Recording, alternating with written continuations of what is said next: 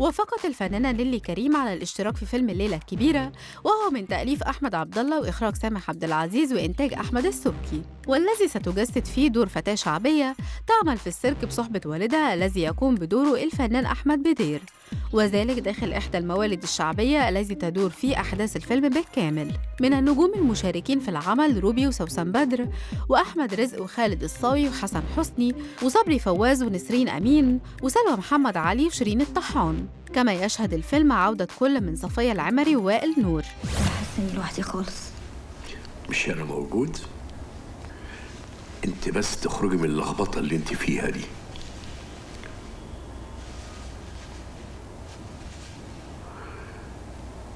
لو تعرفي قد إيه انت بني آدمة جميلة. كنت سامحتي نفسك.